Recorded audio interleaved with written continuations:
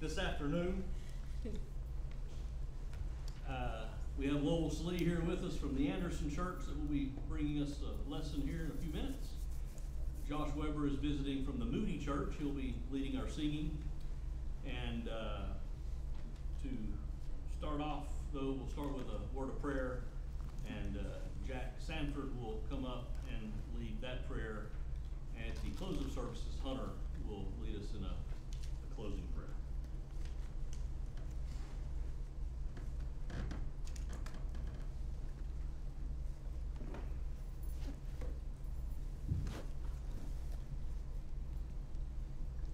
Let us pray.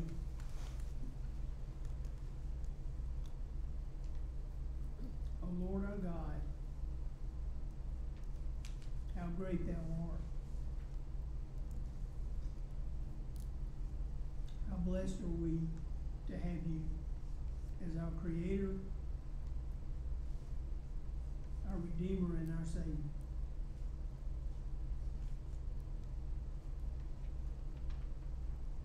Help us, Lord, to clear the temporal things from our mind as we enter into this worship.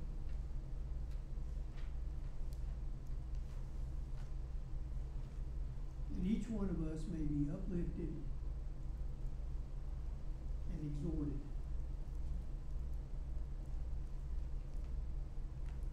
We pray for those who have health issues. that your blessings be upon them. And that they provide comfort and strength to them and their families. Help us, Lord, to be humble, to be more spiritually minded, and to grow in love for one another. And for our fellow man.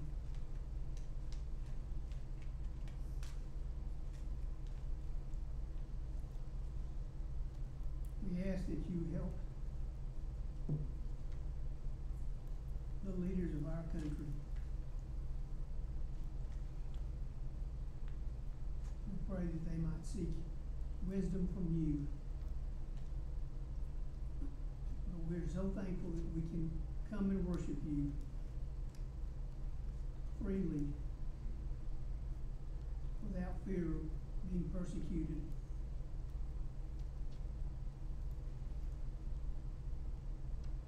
Help us to use the resources that you bless us with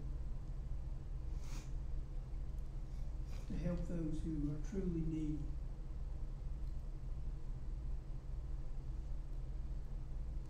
We ask these things in your son's name. Amen.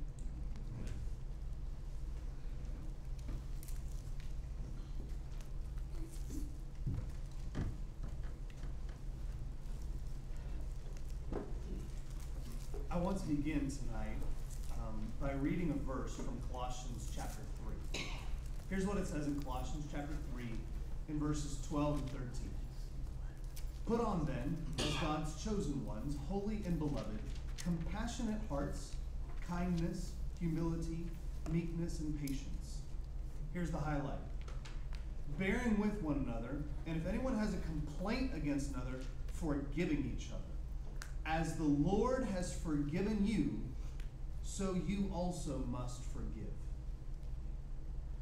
Tonight, Lowell's going to be talking about forgiveness. And I think the title for that is How to Forgive, or something like that. And so I wanted to begin in our scene by talking about why we forgive. I'm a pretty visual learner, and so when I read this verse, I've got a picture in mind. And I almost brought a cup with me to, to show you. Uh, my wife jokingly tells me that all of her glassware has been used in sermon illustrations since 2012.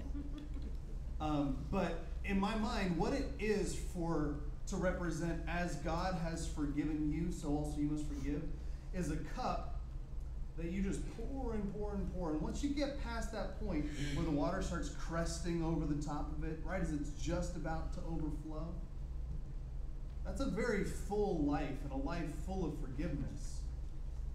But when I truly imagine God's forgiveness for us, it just keeps going and keeps spilling out and spilling over. That's why we have to forgive, is because God has given us so much. When we imagine His forgiveness to us, it is immense, it is unending. And when that pours out of us, it pours out into the lives of those around us. We, in turn, forgive as He has forgiven us. So, in our songs today, I want you to keep that picture of overflowing in mind. Now, I've been told that both of these songs are not on the, on the slides. Is that correct? Okay. Then, he's looking at me like, I don't know. That's okay. I'm going to switch the songs because I want uh, to sing uh, Oh Fill My Cup first. Because I I've been told you guys know that better. Okay, we'll start there. But I want you to keep that picture in mind. Oh, fill my cup, let it overflow. Let it overflow with love. This is God pouring into our lives, and that, that we must also forgive. Let's sing this song together. Now we're going to sing verse 1, verse 2, which is the first verse of Amazing Grace, and then we'll simply go back and sing verse 1 again about filling my cup. Um, because we are overflowing God's grace in our lives. All right. I'll sing the bass because that's what is technically the lead. Oh, tenor? Never led this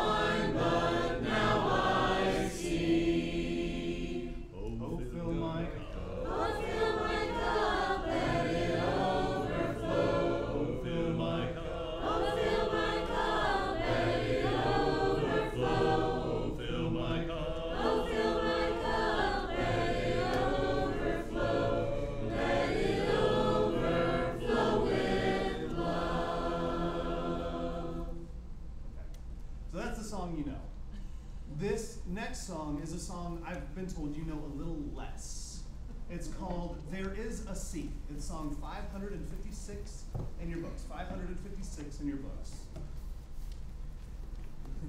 the big red book. Now, let me just ask you, how many of you know this song? Whoa, okay, never mind. I retract my comment about knowing it you guys are doing great. Well, let me remind you of the imagery of this song then. This song is based in geography. I know, it was my most favorite subject in school. I thought it was fascinating. Not. But this song is rooted in the geography of the Holy Lands, of Canaan. There are two large bodies of water, one at the north and one at the south, uh, connected by the Jordan. The one at the top is called the Sea of Galilee. Now, technically, the, the river starts above that, goes up to Lake Hula, comes down to the Sea of Galilee. And that sea, it's where you go fishing. It's where all of the apostles began their, their careers as fishermen because there's so much teeming life in it. But as the Jordan continues south, it gets to the lowest point on earth, the Dead Sea. And the difference is that the water comes to and through the Sea of Galilee, but it just stops at the Sea of the Dead Sea. And that's a great picture for our lives. If God's grace flows to us and through us, we too become teeming with life. But if we simply try to be reservoirs of God's grace and not forgiving others, guess what? We become like the sea which bears its name, the Dead Sea. So that's why this song is called There is a Sea, and that's the beautiful picture of grace flowing through us. After this song, Lowell's going to come present us our lesson. There is a sea which in my day receives the rippling rills and streams that spring.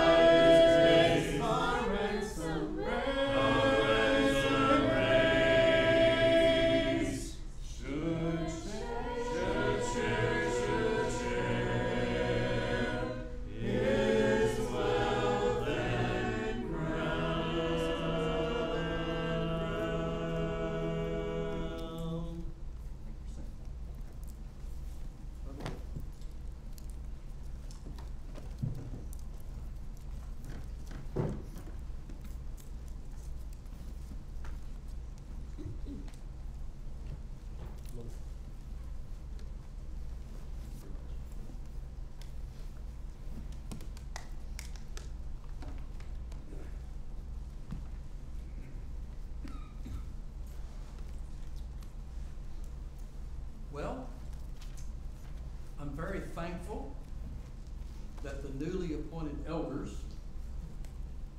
did not cancel the meeting as their first order of business. And, uh, continued the meeting, so that's good. And I'm glad to be here with you this afternoon. Now, with the majority of you, I know where you just came from. I got that. Maybe I should preach on gluttony? No. I'd be throwing rocks at myself. So if you have problems staying awake, if you'll hold both feet off the ground about this high, just hold them up off the ground about this high, you will not go to sleep. If you still have problems, we'll march around Jericho about seven times. It's a little bit tough on Sunday afternoons when we've had a really nice meal and to come back and uh, sit in padded pews and air conditioning and uh, not doze a little. So uh, I'll try my best to keep you awake. I'll ask questions from time to time. So uh, audience participation can be encouraged. But uh, thank you so much for being here this afternoon. We have a few visitors. Uh, good to see the Millers here. They, they were out of their pew. I didn't know who they were. I asked who they were. Then I was embarrassed when they told me. Uh, I know these folks. um, they've been down here for is it a year? You've been here a year? Okay. Um, we're up in uh, Florence area. Know uh, their family and um, appreciate them very, very, very much. So good to see you today. You may recall in the scriptures, and it's recorded in John 7, verse 46, that um, um, the Jews sent some men to arrest Jesus. And when they got there, they listened to him. They came back empty handed. And the Jews wanted to know, well, why didn't you arrest him? This is what one said. No one ever spoke like this man. So, what is interesting here, you have the enemies of Christ listening to him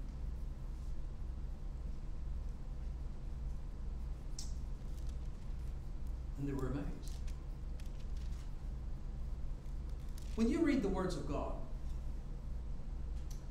you read things that profound, that strike you as just wow. This afternoon's lesson is going to be like that. Because what we read from Scripture about what Jesus said, for if you forgive men for their transgressions, your heavenly Father will also forgive you. Now, if you let that soak a minute, I've done a lot of preaching through the years on the forgiveness of God.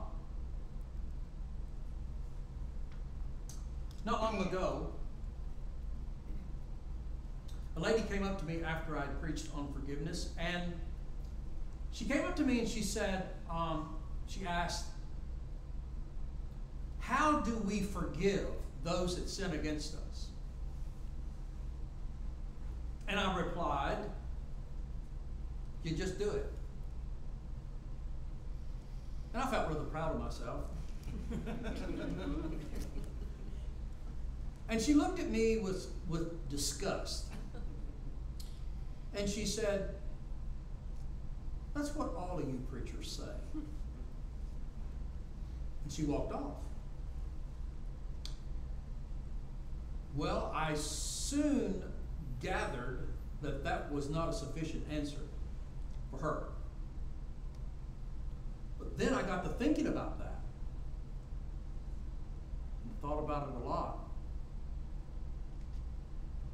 And I thought, man, that was a terrible answer. What is the answer? So I did a little work. And I've preached this, this sermon several times since then. And I wish I could remember who that woman was and where that was so I could give her a better answer. So I'm hoping if I keep preaching this sermon enough, I'll, I'll catch her somewhere. but Jesus said, If you forgive men for their transgressions, your heavenly Father will also forgive you.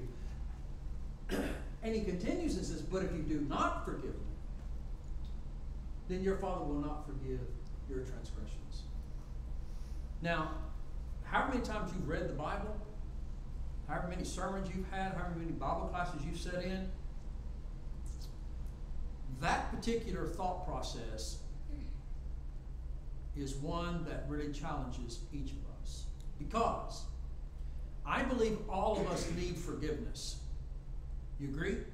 We all need forgiveness. But Jesus makes it contingent upon us forgiving others.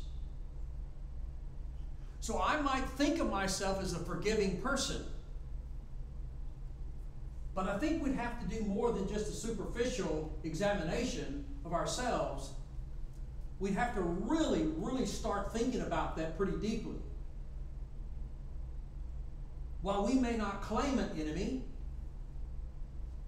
my guess is you have them. And while you may not claim that there are people that you don't particularly like when they've done something to hurt you or offend you, if you think about it, you probably still hold it against them. That's what we're going to talk about. So it is painful. It is hurtful. It is challenging. But it is necessary. it is essential. Because I want to be forgiven and I want to go to heaven. Is that true with you? You want to be forgiven? You want to go to heaven? Then we think about it. So, what I think is interesting, um, we can just turn here briefly to Revelation 12, verse 10. And I, I want to notice a couple of categories here for you that might um, challenge us as well. Then I heard a loud voice in heaven saying, Now the salvation and the power and the kingdom of our God and the authority of his Christ have come. For the accuser of our brethren has been thrown down, he who accuses them before our God day and night. Well, that's Satan. Satan is the accuser of mankind before God. Do you recall Job? Remember the scene? The conversation between God and Satan. Did not Satan accuse God concerning Job? Well, you put a hedge around him. You protected him. No wonder he serves you faithfully. Look what you've done for him. Take all that away from him and he'll, he'll curse you. And God says, go for it. Put a couple of boundaries on it. And Job continued to serve God. And through all that he was tested, he didn't sin against God. My point is this there are those who accuse, and then there are those that forgive. And our God is full of compassion and ready to forgive. So I, I might just start off by asking us, our, ourselves, of which category are we? I think I think it becomes very easy for us to accuse, to point the finger at. But it's a much different story to be able to forgive. So, forgiveness, it's a beautiful thing. I love talking about forgiveness, it's difficult. So, if I was to ask you the question, is it easy or a hard thing? I think it's a hard thing. I think it's hard to forgive. Now, if you sin against me, for me to forgive you, that's going to be tough. I think about it. If I sin against you, it's not a big deal. Just get over it. Right? And I will say this women are much better forgivers than men are. You think about that. God's forgiveness is because God is love. Notice in 1 John chapter 4, verse 8, God is love. There is a difference between saying God loves and God is love. The very essence of who God is, is He is love. And because of that, He forgives. It's important you get the connection here. So I'm a teacher, so I tell you what I'm going to tell you, then I'm going to tell you, then I'm going to tell you what I told you. You know, repetition, repetition, repetition. If you don't forgive, you don't love. If you do forgive, you love. That's the short of it. So God is love, He forgives. And He remembers our sins against us no more. I do not think that we have the capability of, of, of remembering no more. I remember that Joseph had two sons, Ephraim and Manasseh. And of one of those sons' names, he named it such because my God has caused me to forget. What did he have to forget? How he was treated by his family, his brothers, sold into bondage, etc. Do you think he actually forgot it? No, when his brothers wound up down in Egypt, and at the end, he reminds them, I know what you did. And what you did was bad. And you're scared that I'm going to do something about that. Take revenge. Joseph just simply says, Look, I know what you did was bad, but it was God's plan. God wanted me here. He used you doing a bad thing to get me here. And I'm here and I'm going to save your skin. God's plan. So Joseph could, could hardly be mad at his brothers uh, of what they did to him because it was God's plan. But nonetheless, God remembers our sins no more. Can you forgive and forget? That's divine. In the book of Ephesians, chapter 4, verse 32, as we read a moment ago, and be kind to one another, tenderhearted, forgiving each other, just as God in Christ has also forgiven you. There, there's a couple different takes on this passage, and I'm, I'm not going to take the time to go into all of that, but simply say this. I think God has forgiven us. The, the wrath of God has been turned away from us because of the blood of His Son. Without the blood of Jesus Christ, the wrath of God would consume us all because we've all sinned and fallen short of the glory of God. But because of that blood, we've been forgiven. Well, we should be willing to forgive others too, just like God in Christ forgave us. Do not allow your wrath to burn against someone. Forgive them. But how do we forgive? How do you do that? I will say this just so that you understand. Forgiveness is very difficult. I've preached this sermon a few times, and it's been interesting the reactions I've gotten from people. I've had on an occasion or two older women, mature ladies, come up to me and say, I really appreciated your sermon. When I was young, a family member molested me. And I've never forgiven them. Now, I, I didn't ask for that. I didn't need to know that. But here's what's interesting about that the Word of God touched their hearts. And for all of these decades,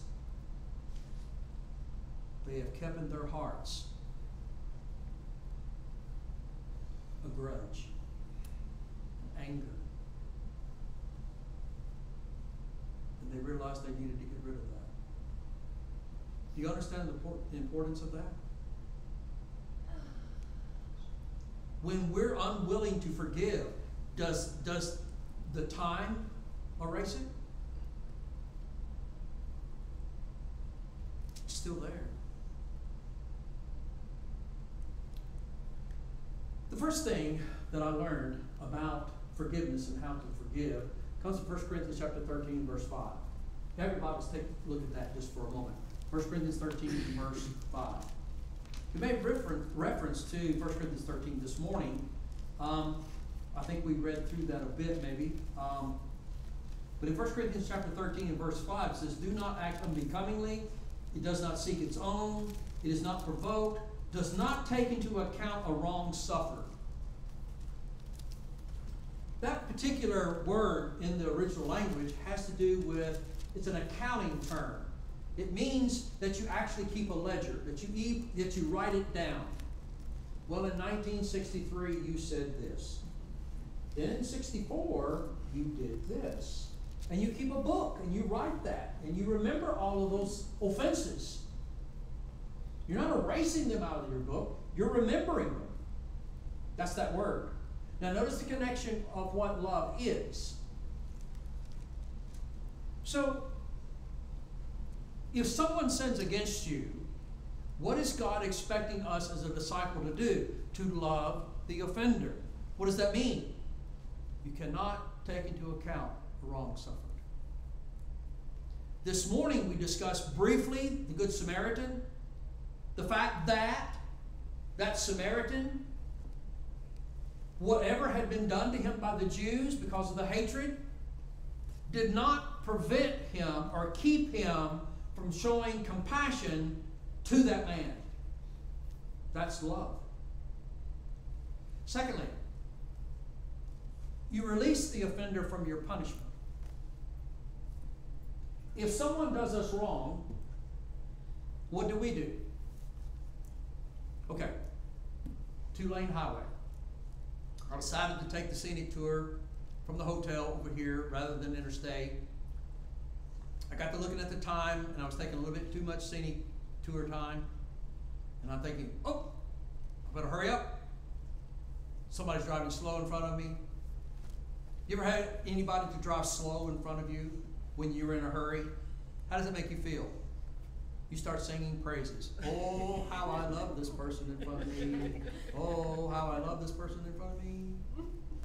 Right? No, we think bad things. Get off the road, you Sunday driver. Then if you get a chance to pass, what do you do? Slow down, go slower than they were going. Now, what do you call all of that? Love. Forgiveness. Not taking into account a wrong suffered, right? That's a furthest thing from your mind. Romans chapter 12, notice what the text here says. Paul makes mention of this kind of uh, action and so forth. Verse 17, he says, Never pay back evil for evil to anyone. Never pay back evil for evil to anyone. I was driving south, going down south from my home in Rogersville, out on one of the old country roads, real early Sunday morning, and uh, nobody, this long stretch, and this old guy's, he's in an old uh, farm beat up flatbed, and you know, there's nobody around anywhere. He's going probably 35 miles an hour, it's 55 mile an hour zone. I go around him, you know, and as I get right up over, I look over at him, and he gives me the finger. I think he was saying Happy Sunday, Happy Lord's Day, I'm not sure. But I'm thinking, you know what? No, I didn't do anything back. I didn't say I didn't think anything back. But why do people do what they do?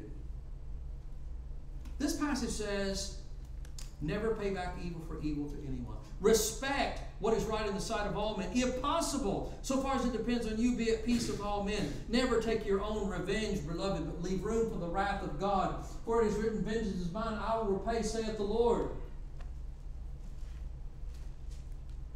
I don't know what that guy was doing. He may have just been coming home from getting drunk all night last that night. I don't know. Whatever. But I must control myself, and the Lord will take care of that. We try to make the golden rule: do unto others as they have done unto you, or really, sometimes we do do unto them before they get a chance to do unto you. forgiveness. Release the offender from your punishment. Do not retaliate against them in any way. Also, it's the very idea that you do good to the offender. Verse 20 21. But if your enemy is hungry, feed him. Really? If he's thirsty, give him a drink. For in so doing, you will heap burning coals on his head. Do not be overcome by evil, but overcome evil with good. Now, that goes against our human nature, if you will. It goes against everything that seems to be within us. I grew up in a place where I had a neighborhood and there was lots and lots and lots of uh, kids and there's a bunch of guys my age and we go out every day and uh, we play baseball, we play football, then we fight. Then we play baseball, then we play football, then we fight. And then, you know, just that way all the time. And pretty much the, the, the, the rule of the hood was that if, um, you know, you, end the fighting period, uh, I guess that was our, our hockey. I don't know. But anyway, um, during the fighting period, uh, you know, if a, if a kid hit you, and on a scale of 1 to 10, it may be a two or a three. Well, we call him a sissy, call him a girl, something like that.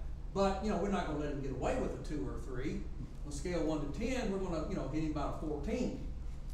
Back. Now, you grow up thinking that way. You know, to be a man, you can't be a sissy. Then you become a Christian. How do we react to other people? somebody says something ugly to you, you're going to fire back and just bury them with something. If somebody sins against you, do good to the offender. Don't celebrate the offender's failures. I've done this, I'm ashamed of myself, it's wrong. I guess I was driving too slow on a country road. Somebody passes me, they're going really, really fast. What did I mention? It's a double yellow line, and they pass, and you're hoping the cops catch them. If there's ever that rare time that they're off the side of the road, a cop's got them pulled over, and you drive by, don't you want to slow down and roll down the window and go, Gotcha. Well, that's per exactly what you're not supposed to do. Because if you forgive those that sin against you, then you don't celebrate their failures. You treat the offender with the golden rule. Do unto others as you would have them to do unto you. So, you sin against someone. You ask them to forgive you. They say they forgive you. How do you want them to treat you?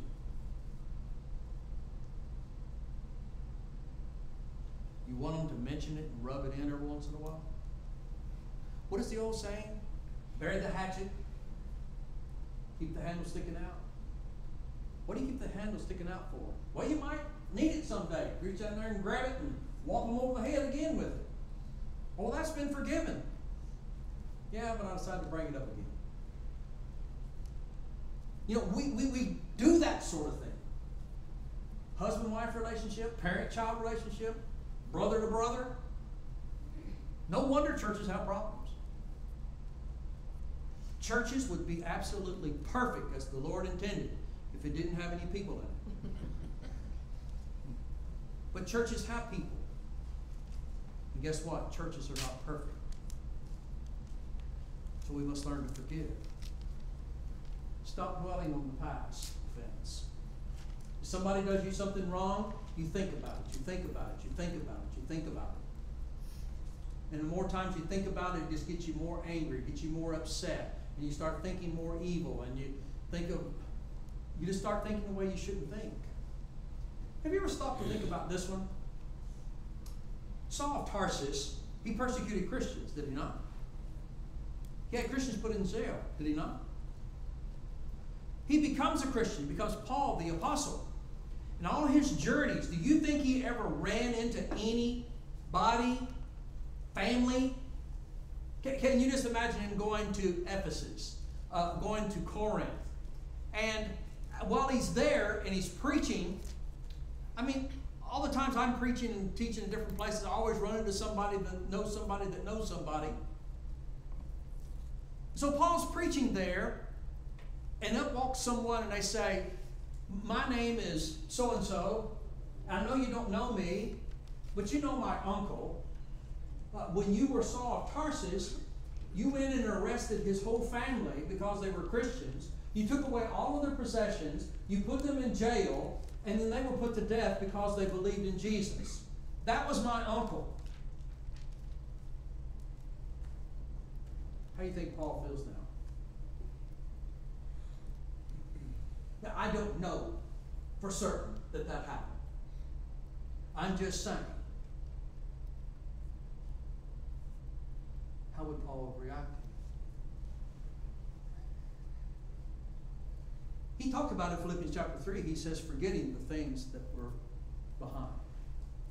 I press on toward the things of the upward call of Christ. I've often thought how difficult it must have been for Paul to forgive himself for what he had done. Have you ever done anything that you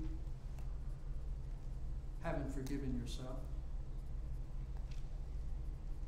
A past offense. God's forgiven you. The brethren have forgiven you. But you've not forgiven you.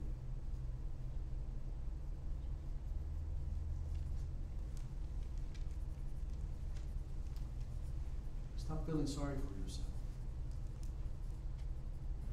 I'm convinced that discouragement, depression, a lack of self worth is some of the devil's greatest weapons against us. If he can get you to think for a moment that you're just not worth anything, or that you just can't do it.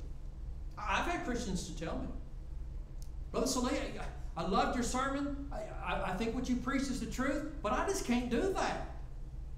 I, I just, I, I'm just not capable of doing that. I think there are a lot of brethren that feel that way.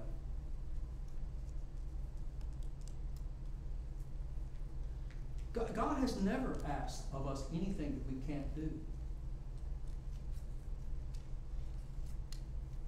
It's just that we don't have a lot of want to. And maybe, maybe God is wanting us to jump this high, and maybe I can only jump this high. I jump as high as I can. And I think the grace of God and the compassion of God and the mercy of God and the justice of God and all those other beautiful words of the Bible make up the difference. But you have to try to do your best. But the thing that will keep you from doing your best is when you feel sorry for yourself. And maybe you say things like this You say, Why did this happen to me? My mother in law found out she had cancer. 15 years later, it took her life. But when she first found out she had cancer, we were all at the hospital. She was having surgery. And my father in law asked the question. He said, My wife is the most godly person he ever knew. And of all of these wicked people that there are in the world, why did God let her get cancer? You ever ask those kinds of questions? Me too.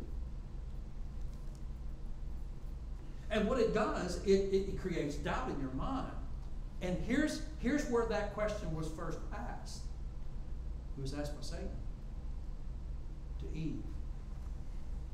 Did God say that in the day that you eat of that fruit, you shall surely die? Is that what He said?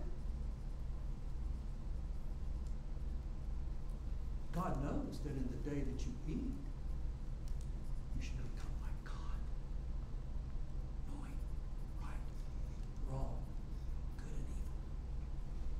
What was he implying?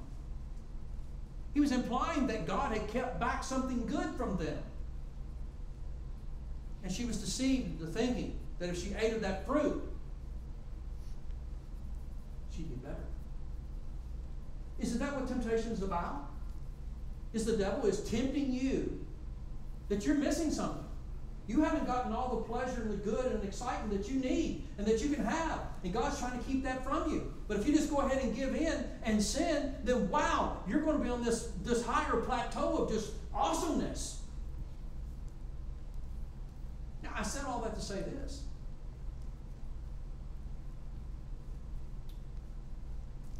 God loves you very much. And He has blessed each of us with far more than we ever could possibly deserve. He causes the rain upon the just and the unjust. And when bad and evil comes to your house,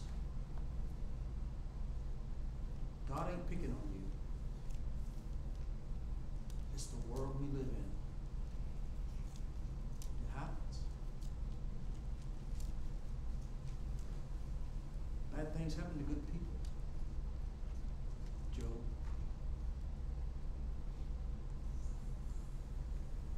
Forgiveness. Remember when Jesus talked to his disciples and the disciples said, Lord, how, how many times should I forgive my brother? Up to seven times? Jesus said, No, not up to seven times, but to 70 times seven. I think that's 490, right? 490? So on 491, the deal's off. 491. Deal's off. You think that's what he's talking about? I don't either. I I think that it's hyperbole to simply suggest to us that as many times as your brother sins against you, you need to forgive him. How many times has God forgiven you? 490?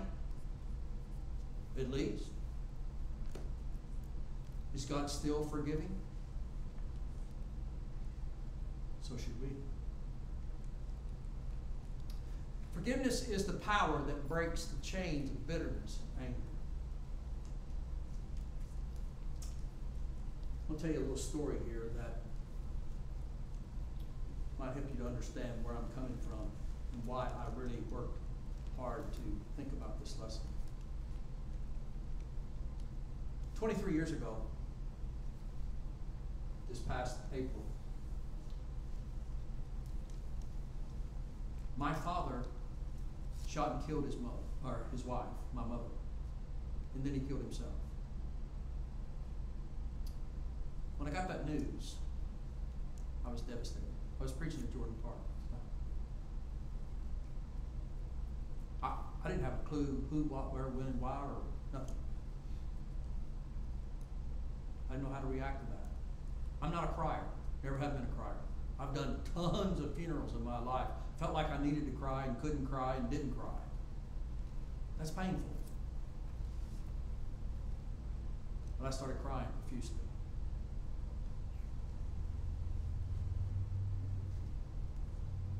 Buried my folks. 23 years later, I still don't know why. Don't know why it happened. But I tell you what it did for me for a long time. It made me bitter. And it made me angry. I'm a gospel preacher. My parents are Christians. They do that. It was embarrassing. I didn't know how to answer people. I didn't know how to. Did constantly I was asked, well, did you ever find out why? No. So I found out for a number of years I was angry and bitter. I told you that personally, a personal thing, to tell you this. There are a lot of Christians who are bitter and angry. And all you have to do is listen to them for five minutes, and you can tell they are. I'm going to tell you what a really good chance of the problem being. You ain't forgiven somebody. You're holding it. You know what not forgiving does to you? It's like a cancer. It'll kill you.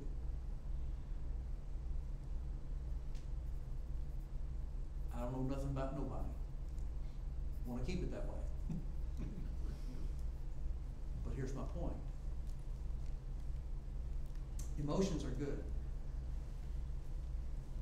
emotions are bad.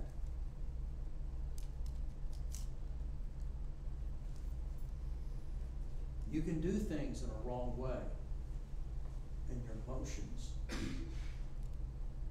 will hold you captive. And you cannot have the peace and the joy that God offers through His Son because you will not let go.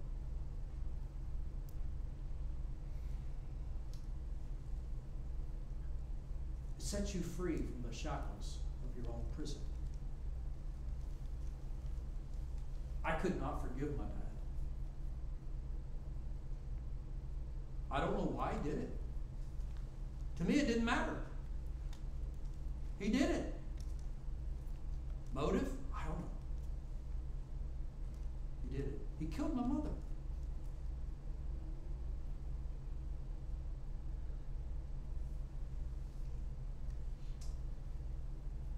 Finally, I just had to to say.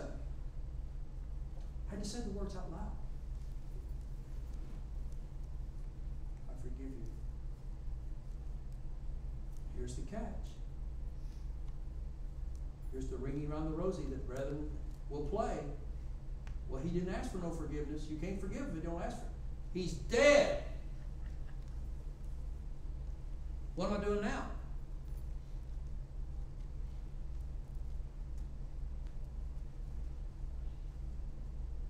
There for a while, I prayed for the dead. I I preach otherwise. When a person dies, your fate is sealed. I just prayed that he was out of his mind. God knows. God will judge. It was out of my control, out of my hands. I can't even ask him to repent. what choice did I have?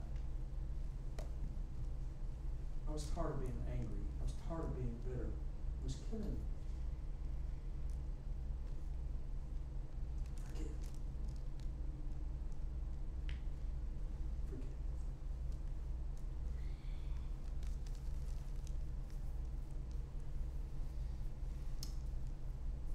Keith Stoneheart wrote this, and I thought it appropriate, I wanted to apply it in this lesson. No one leaves a family without breaking someone else's heart. No one leaves the church without breaking someone else's heart. The church is a family, not a business. Jesus wants us to be a family, not customers. When there's a problem, work it out. I often thought about my mom and dad. Through the years, I was their counselor. They looked up to me. They loved me very dearly.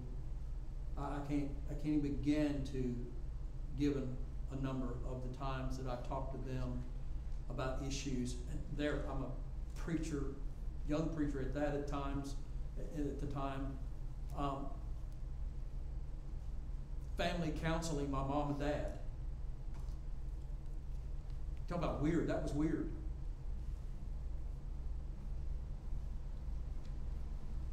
They didn't ask about that.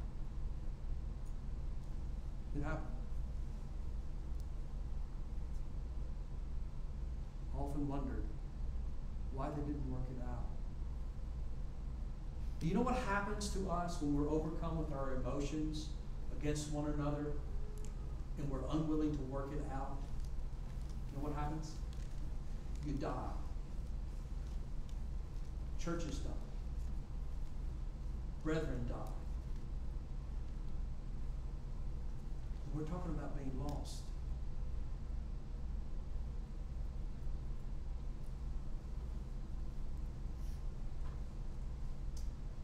Oh, I've forgiven them, but I'll never forget what they did to me.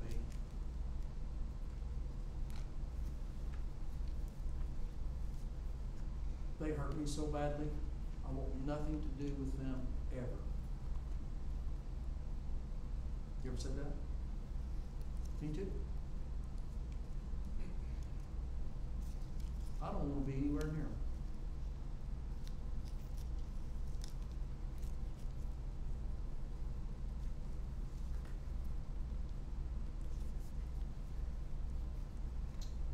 Forgiveness doesn't excuse the behavior.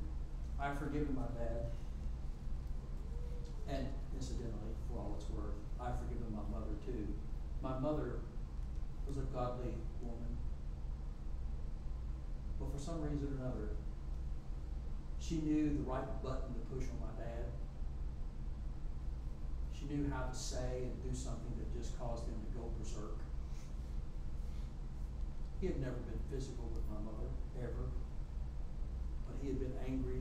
They they used language with each, other they shouldn't have.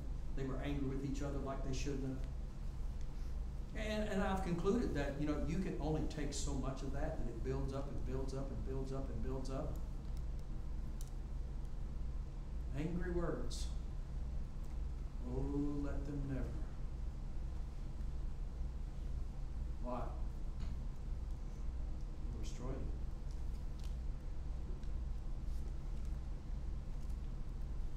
I forgive my mother and my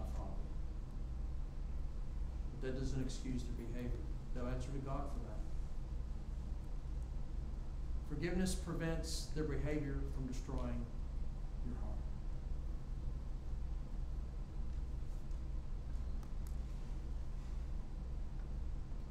I'd answer that lady a lot different this time.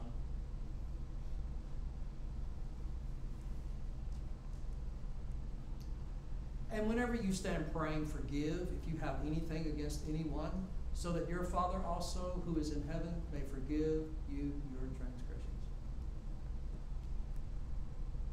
So here's what I'd like to leave with you in regards to this important lesson.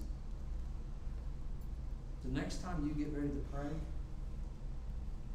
pause just a moment and ask yourself a very simple question. Is there anyone that I have something against. God knows. If there is, forgive. Then ask God to forgive you. Mark Twain, he was quoting an asylum inmate.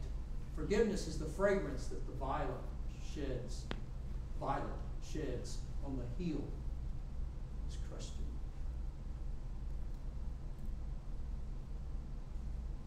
You stomp a flower, but the flower leaves a fragrance, a sweet smell of forgiveness. Does that describe us? Forgiveness is a beautiful thing. The gospel is the power of God to save, to forgive us. But may I very humbly suggest something to all of us? I can be forgiven of my sins through the blood of Christ. But I must come to understand the love I must have for others to forgive others as I have been forgiven. And if we don't understand that, I think we're in trouble. Thank you for listening. I appreciate so very, very much your kind attention. Uh, the lesson is um, hard. I think the lesson is needed. It was for me. And wherever that poor sister is, I hope she gets the answer to her question. And if you're that lady, would you mind telling me that? That will ease my mind a lot. His grace reaches me. If you need to obey the gospel or have prayers of the brethren here, won't you come as we stand and sing? Deeper than the ocean and wider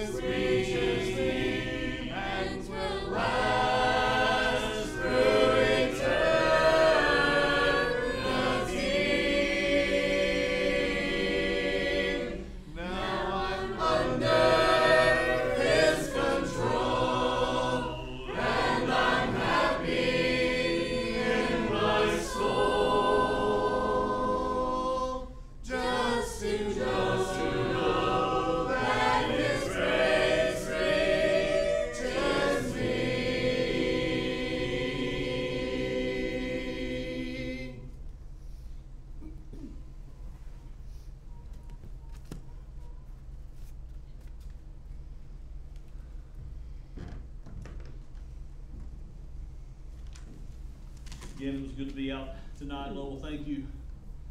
Powerful and much needed lesson. Somebody said last night, I said, Lowell's gonna preach how to forgive. They said, oh, I don't know that I've ever heard a lesson, how to forgive. And I was like, yeah, it'll be a good one. I'm sure it'll be real easy. Here's how to forgive, boom. Oh, a magic potion of some kind. It, it wasn't, it wasn't that easy. And of course, we can't expect things to be easy. Some things are easier than others. But uh, a lot of things take work, and Jesus, of course, has taught us that. Come back and be with us Monday night, tomorrow night, at 7, Tuesday night at 7, uh, Wednesday night at 7 if, if you can. Uh, appreciate Josh. Last minute, uh, basically, that I asked him to lead singing. Um, I knew that I was not personally feeling up to it myself. I was going to, and just happened to say, hey, you're not coming to 3 o'clock service this afternoon, are you? His response to which was, didn't even know there was a 3 o'clock service this afternoon. I said, there is, and if you happen to come, I'd love for you to lead singing. so the next thing I know, he was picking out a song, so I appreciate doing that at the last minute, Josh. Um, matter of fact, last night I asked Lowell if he'd be here uh, this today, and he said, "Oh, is that is that tomorrow?" So appreciate last minute getting these lessons together. Um, good to have the, our visitors. Hope that you can all come back and be with us at another time. We meet regularly Sunday mornings at nine thirty for Bible class, ten thirty for assembly, and regular midweek Bible study Wednesday nights at, at seven p.m. Um, got a flyer.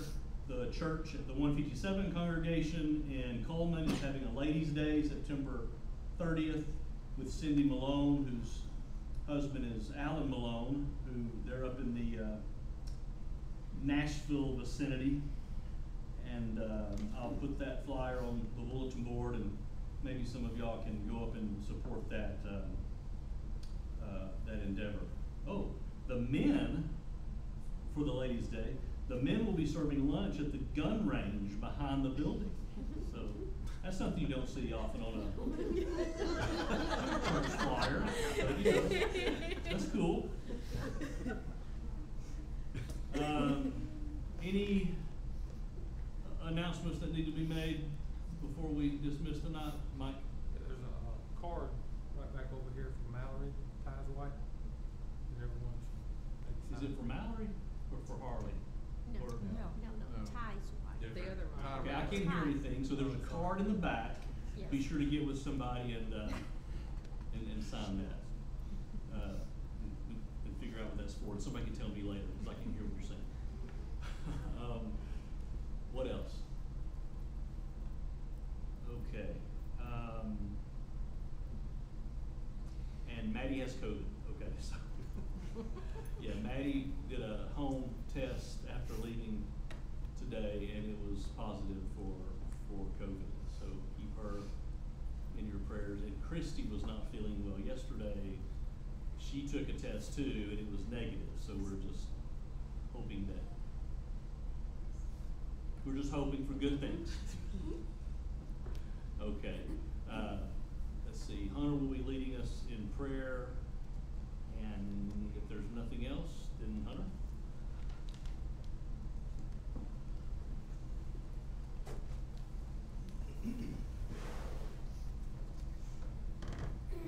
Join me in a word of prayer, please. Most gracious and loving Father, we're so thankful for the gift of today and of these assemblies that you've allowed us to have. Father, we're so thankful for Brother Josh and for his willingness to, on such short notice, assemble with us and lead song.